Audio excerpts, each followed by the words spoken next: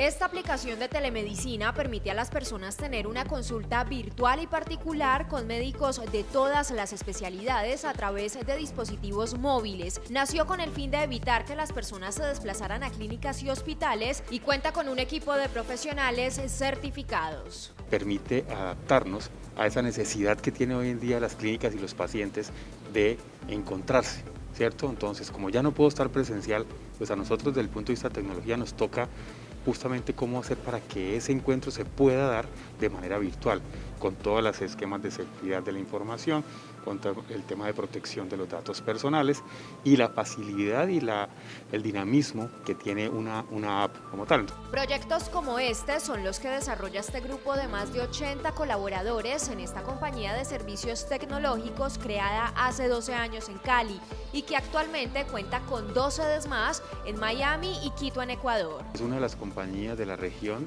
que ayuda a esas compañías a soportar esas plataformas y más ahora en esta época de, de, pandemia cuando la tecnología se ha convertido en un factor clave para mm, la manutención o el mantenimiento de esas compañías y la reactivación de muchos sectores.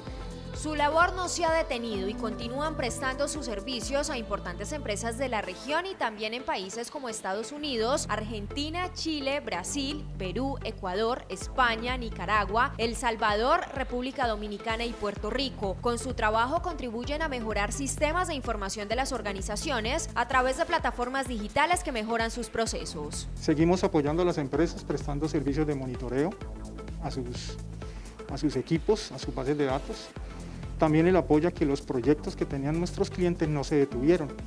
Entonces continuamos de manera remota haciendo los desarrollos. En estos últimos meses han tenido que aumentar su equipo de trabajo con la generación de nuevos empleos, pues desde su labor aportan a la reactivación. La principal idea fue que a pesar de todo, todo lo que conllevó la crisis, como esta recesión económica que conllevó, de igual forma nunca se pensara cómo llegar a salir de algún colaborador, sino de hecho muchos colaboradores se contrataron en esta época. Con el propósito de continuar apostándole a la transformación digital, esta compañía seguirá mostrando que el Valle del Cauca también es tecnología.